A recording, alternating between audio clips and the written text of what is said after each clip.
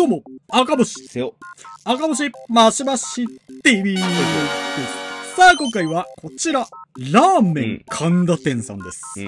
はい。ラーメン。ラーメン神田店、えー、中央区神田本国町でございます。ね。えー、総武本線のに、新日本橋駅が一番近いと。で、神田駅からだと、まあ、4分くらいで着きますよというのも、ラーメン神田店でございますが、実はこちら、有限会社二郎フードサービスうん。が発端となるですね、元ラーメン二郎神田店だったんですよ。なんですけど、えーこのお店は三田で修行したわけではない二郎だったんですね。はい。で、ラーメン二郎直系が商標登録をされた時に、うんまあ二郎であることを廃止したので、ラーメン神田店に、なるほど。はい。勝手にやってたというよりは、うん。山田総裁とちょっとこう、あの知り合いだったらしい。うん。はい、噂によるとですけども。あ、このようにね、ああ。ジローの字が残ってますけども。ちなみにこのラーメン、えー神田店さん、えー出身がね、いっぱいありましてね、神田神保町二郎もこちら出身だったり、品川ももともと風漬系でこの、あのーこちらのラーメン側の、うん。あのお店だったりしたんですけど、なので、まあ、完全に無関係のお店ではないという感じなんですね。でちなみに私ですね、うんえー、2000、あー何年だっけ、19年か18年に、はいはい。この系列の虎ノ門店行ってますので、うんぜひその動画も見てくださいということ。7そっ年前 ?6 年前 ?7 年前の動画ですね。はい。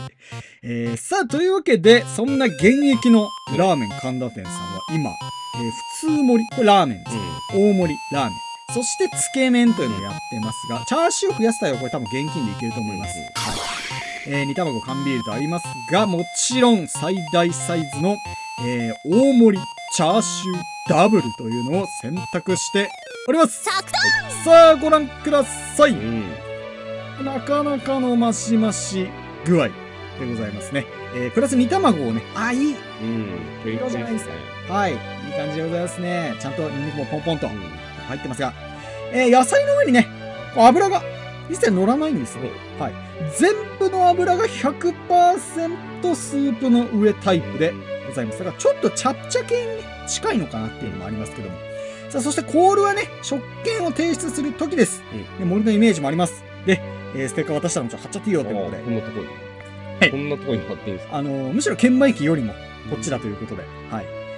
でさあ、そしてチャーシューダブルはね、ちょっと見えにくいですが、うんえー7枚から8枚ぐるっとね、うん。こう花のように囲まれて盛られてくるというのがチャーシューダブルになっております。さあ、食べていくぜということですね。さあ、その豚でございますが、あ伝統的にですね、うん風付けはこういったスリム豚うん。ですね。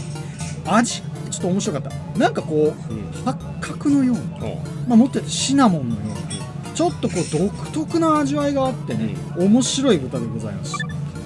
で、一気にもう野菜いきますが、非常にシャキ野菜ですね。えー背脂かかってないですけども、醤油系の返しが結構かかってるんで、まあまずはこのお醤油野菜を食べて、えースリム豚なんかで巻いて食べるなんてのも美味しかった。うん。うん。はい。えー昔ながらの盛り方っていう感じが、はい、貼ってる。えーそしてこのスープの上にね、油があったんで、これを上手にかけて、まあ、セルフ油野菜をまあまあ作っていく。はい。まあ、甘えてはいけないということで、ご確認何 ないからといって、はい、工夫していきますということです。うまいです。うんはい。僕の思うにですね、こう油も返しもかけないお店って昔は結構いっぱいあったと。んでうん。はい、なのでスープをかける油をかけるっていうのはもうお客さんに委ねられるうん。ところなのかなって思って食べてた。んうん。ですね。今はもう当たり前のようにですね野菜の上に油って結構乗ってるじゃない。だけどおたき橋二郎の液体油とかも上からかかってないしあの昔蒲田に二郎ありましたがあれもね上から固形で油かかってないんですよ。なのでこのタイプはやっぱね懐かしさを感じますね。なるほど。はい、まああのー、おたけ橋とかも風付けらしいんですけどね、うん。はい、あのもともと直径から入ったわけではないという。途中から入ったという。まあシンプルマシマシの、うん。はい、結構すごいですけど、えー、シャキなんでね結構こう噛みます。うん。はい。なのでペース配分これ間違うとですね、あれ？ちょっとお腹にずっしりくるなといううん。油断したら危ない多さでございますね。えーさあそしてね油もマシマシだと背脂も液体油もテカテカになるんで、うん。えーマシマシする方は気をつけてください。とい。うえー感じですね。さあそしてそのスープです。あー浮いてますね、まあ油。そうですね。あのかき分けてスープの部分を見せましたが、えー、非乳化でしたね。非常に非乳化、えー味的にはややこんですが優しさ感じるスープです、はい、不思議とねなぜかすごい飲みたくなってしまううん。スープでしたね、えーまあ、この、えー野菜を浸した時の後の染み込みも非常に良かったですけど、これね、まあ、このラーメン神田店だと知らずに目をつぶったらですね、あんま二郎系のスープじゃないかもと思うぐらい飲みやすかった。中華そばみたいな、まあ、もちろん鶏ガラは使ってないと思いますけど。こってり感っていうよりはいうん優しさも強い、うんはいえーまあ、背脂浮いてましたが飲みやすさが勝つということですね、えーさあそして麺量書いてなかったので聞きました、はい。えー普通盛り200大盛り300です。ですからこれにとどまらずですね現金100円でですねあのグラム申請可能ということでうん。これ以上、うん。えー厨房にとんでもなくでかい器ありました。うん。はい。天丼ってのは珍しいですよね。あちょっとね歪みがあってこうオリジナルさを感じる器でございましたが、えーこちらはねデロ麺だったんですね。結構。あのー麺が入ってる箱にですね浅草開花楼と書いてあったんで、まあ、ちょっと硬い麺なのかな思ったんですけども、えーまず柔らかい穏やかなウェーブの丸いデロ、えーここ最近できたお店とかに比べたらやっぱりレアです。ねうん。えー昔のやっぱり、えー二郎系を貫いているという感じがいたしました、はい、さあそしてここでもね油の絡みが良かったです、なんかこう油そばのようなねうん。やっぱ美味しさを感じましたね、まあ、あの背脂がすごいいっぱいあるね、スープ濃いっていうね。スープ美味し。い、うん。はい。まあ、この油そばっていうのはまあもちろんないのでね。油増し増しにした人の特権の感想ですね。さあそしてしっかり刻まれたニンニクしっとり系だとやっぱり辛ニンニクですね、えーこのニンニクねあのーやっぱりこの適度に強さがあって香りもあって、うん。あピーピーと言いますか入っちゃったかな。思いっきりスープに、えー溶かしたいニンニクでしたね。はい、えーちょうどいいパワーを備えてると思いますが。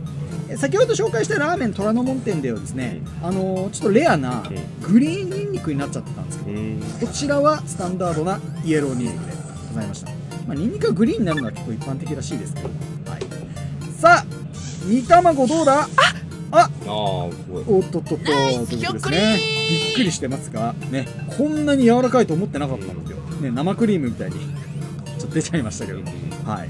えー、まあ、あのよろしく君まろと。あやっていただきます。あの虎ノ門店もそうでしたが、あとはまあ品川二郎もそうですけども、あのーこのフーズ系関係のお店ってなんとなくね卵は硬いイメージなんですよ。なのでまあこんな柔らかいとは思わず食べたのと、煮卵しかトッピングがないといううんこのオールドスタイルという渋さもうんいいですよね。はい、そういうなんかこう古臭さいい意味での古臭さがこのお店を選択しようというはい、候補に入っている一つだと思いますが、さあギャバンですね、えー卓上の返しとかもないです、ギャバンだけです、うん。はい、非常に絡むので、えー、無線に注意ということですが、えー今回ね、豚胡椒やってなかったんです、はい、あの独特の味がちょっと面白かったので、パクついちゃいましたね、うん。はい。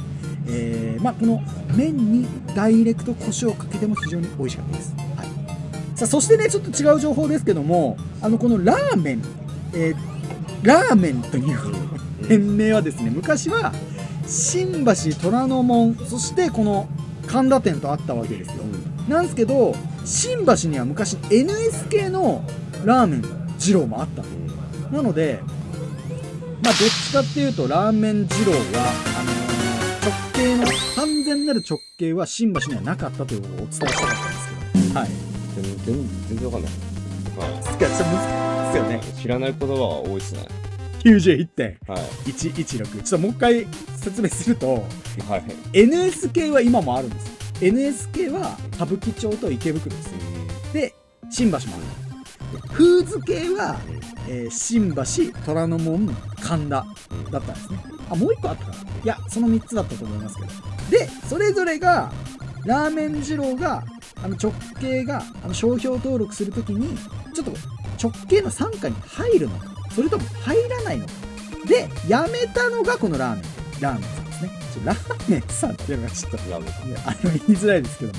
でいろいろあの修行し直したりしてもう一回ラーメン二郎やりたいですってなったのが品川店とかあとあの亀戸の二郎の前の店主さんとかも風付系だったりしたらしいんですねなのでそういった経緯がいろいろしといてください。これねむずいんだよな。まああのいずれ解説できそうな時が来たらうん。解説は、はい。僕もしたいですけども。はい。あのすごい僕なんかより詳しい方がいますので情報を借りつつねやりたいと思いますので。まあひとまずね、うん。えーラーメン神田店さんまだまだ現役であの店長は非常に優しい方なんでね、初めての方でも行きやすいと思います実は、えーぜひとも神田新日本橋行ったらでは行ってみてください。ごったんです